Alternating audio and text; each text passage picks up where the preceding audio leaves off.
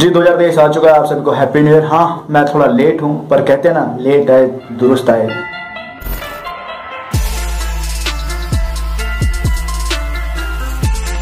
वृंदावन गया था तो उसकी एक कहानी है, जो आप सभी को बतानी है तो शुरू करते हैं। तो welcome back to another vlog this is और हम जा रहे हैं वृंदावन की साइड हाँ मतलब मेरी बहन और मैं तो अभी हम एक छोटा सा मोटो ब्लॉग कर रहे हैं और ये मेरा फ़र्स्ट मोटो ब्लॉग होने वाला है इसी के साथ साथ। तो हाईवे पे हम 101 की स्पीड और सामने भाई। तो अभी मेरा मन नहीं कर रहा, इतनी ठंड लग रही है, मुझे मेरे हाथ सुन पड़े हुए हैं, ना ग्लव्स पहने हैं, सिर्फ़ निकल पड़े हैं और नया साल है, नए साल के पहली तारीख दो हज़ार तेईस, आप सभी को हैप्पी न्यू ईयर और गाड़ी बहुत तेज चल रही सही में बहुत ठंड लग रही है मुझे। तो मैं रास्ते में से ब्लॉग शुरू कर रहा हूँ, क्योंकि घर से निकलते टाइम मैंने माउंट नहीं किया था फ़ोन तो आप देखो, आज रोड खाली खाली सा है, सब शायद घर पे पड़े हुए हैं, सब आज संडे भी है। मज़ा आ रहा है। और ये मेरा पहला राइड मेरी पहली राइड होगी ये इतनी लंबी। तो अभी वृंदावन जा रहे हैं और ये लंबा स्ट्रेच है अच्छा खासा मतलब इस गाड़ी का रनअप हो जाएगा और मेरा भी हाथ बैठ जाएगा एक तरह से लॉन्ग राइड के लिए।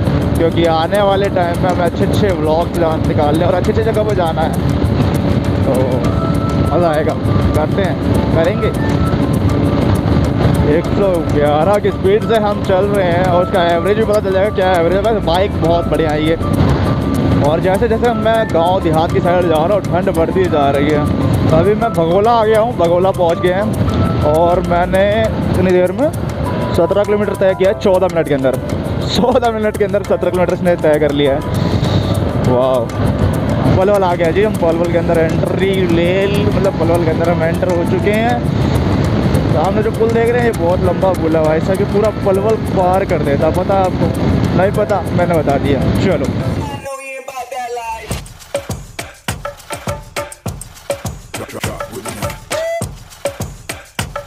जी पलवल क्रॉस हो गया है या आगरा चौक निकला है इसके नीचे। और मेरी हालत के बारे में पूछोगे तो बहुत खराब है। देखो बाइक बहुत बढ़िया, बहुत सेक्सी बाइक है भाई। अपने मतलब की बाइक है। मतलब भाई सौ, एक सौ दस, सौ की स्पीड में चल रही है, मुझे वाइब्रेशन वाइब्रेशन तो हो ही नहीं रही है। मैं कंफर्ट महसूस कर रहा हूँ फुल तो एक्सीडेंट देखो। क्या है एक्सीडेंट हुआ है? थोड़ा रेस्ट ले रहा हूँ, थोड़ा स्ट्रेच कर रहा हूँ। ऐसे करते करते हम पहुँच जाएँगे अपनी मंजिल की ओर।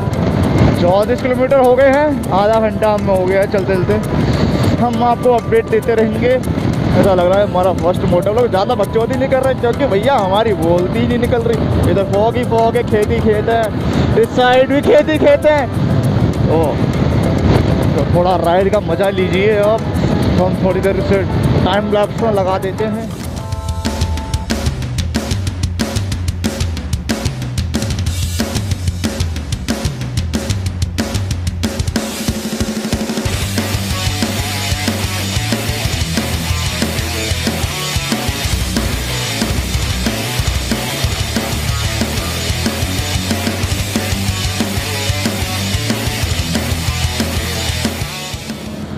तो जी हम वृंदावन पहुँचने वाले हैं। और मैंने 300 का तेल डलवाया था। 310 का। तो उसमें मेरी बाइक 92 किलोमीटर चल रही है और मेरे को, मुझे लगता है कि अभी ये आठ किलोमीटर और चलेगी। मतलब मेरा इंडिकेटर जल चुका है। तो जल्द तेल डलवाना पड़ेगा, नहीं तो रास्ते में अटक जाएँगे। सारे पेट्रोल पंप उस साइड पड़ रहे हैं। मेरे में क्या यार? एक भी पेट्रोल पंप नहीं है यहाँ पर इस साइड वाले एरिया में। लग रहा मुझे जाना पड़ेगा, उस साइड जाना पड़ेगा। पता नहीं, दस किलोमीटर, दस, पंद्रह किलोमीटर से मैं आया हूँ और एक भी पेट्रोल पंप इस साइड नहीं पड़ा। और भाई साहब, पेट्रोल पंप मिल जाए, नहीं तो दिक्कत हो जाएगी यार। ये ना वृंदावन। भाई साहब, वृंदावन आ गया आ गया, वृंदावन आ गया हो रहा।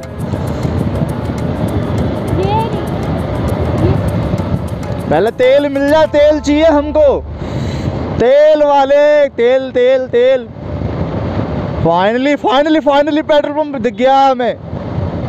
ये रहा। दो दो मिनट रुकिए ज़रा। हम तेल डलवा लें क्योंकि जिस फ़ोन से रिकॉर्डिंग हो रही है इसी में पेटीएम है। तो जी रुकावट के लिए कह दे यहाँ पर मेरा फ़ोन स्विच ऑफ़ हो जाता है इसके आगे का हमारा मोटो ब्लॉग शूट नहीं होता। तो इसके बाद हम क्या करते हैं लोकेशन पे जाते हैं वहाँ मैं अपने दूसरे फ़ोन से शूट करता हूँ। ढूंढता फिर मैं अरे मैं नहीं खाऊँगी छोटी बच्ची नहीं हूँ। है तू छोटी? फाइनली फाइनली फाइनली दो बार ट्राई करने के बाद तीसरी बार मैं आ गया हूँ और अंदर से एक बार दर्शन हो जाए फिर भाई हो गया समझो हो गया मेरा। राधे राधे राधे बोल मना। धन का क्या पता?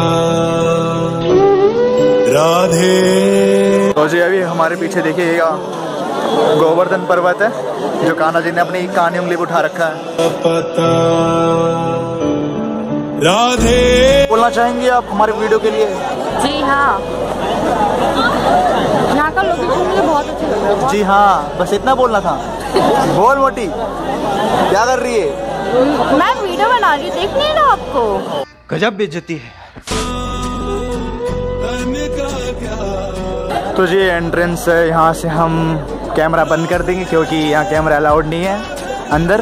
तो हम दर्शन करके आते हैं फिर बात करते हैं आपसे। जय! राधे राधे राधे और मैंने दर्शन कर लिया और भाई साहब बहुत भीड़ है यहाँ पर और अगर थोड़ा सा भी लेट होता फिर दर्शन बंद मतलब दर्शन बंद होने वाले हैं तो कैसा लगा अंकुर दरबार बता अभी। मुझे आज बहुत अच्छा लगा पर आज मुझे बहुत गुस्सा आ गया मेरी फ़ोटो नहीं खींच खींची है खींचिए पर से पसंद ही नहीं आती फ़ोटो तो है पिंजरा पिंजरे में है तेरा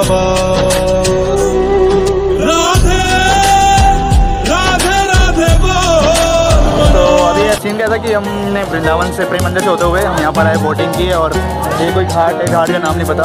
तो यहाँ पर आया और टाइम स्पेंड कर रहा हूँ। बहुत सारी फ़ोटो खींची जा रही है। भागे भागे, जा रहे हैं। आ जा। हाँ?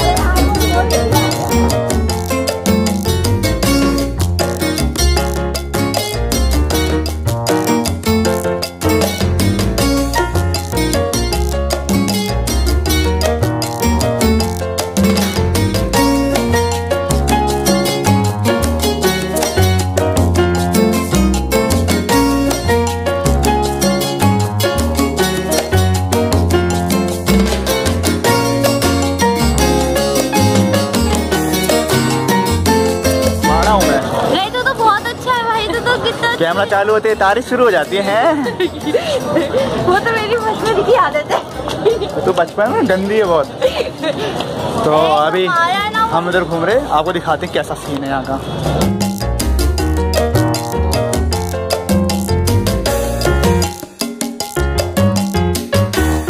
तो इस वाले एरिया में भाई साहब बहुत सारी बोट पीछे हमने बोटिंग भी वहाँ पर पचास पचास रुपये लिए थे और यहाँ पर सस्ते में बीस रुपये में ले रहे हैं बीस या तीस रुपये समथिंग तो आप आगे आ जाइएगा जैसे यहाँ पीछे भीड़ है इस वाले एरिया में आ जाना।